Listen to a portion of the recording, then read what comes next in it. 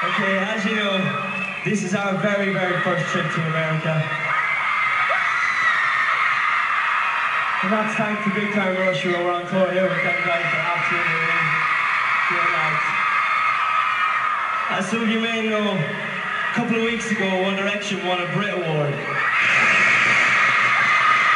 For Best British Single for What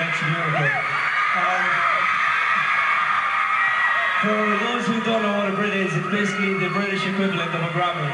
So, thank you to every single one of you guys out here who voted for us to win that. It was an absolute pleasure to collect it on behalf of all you guys. You're incredible.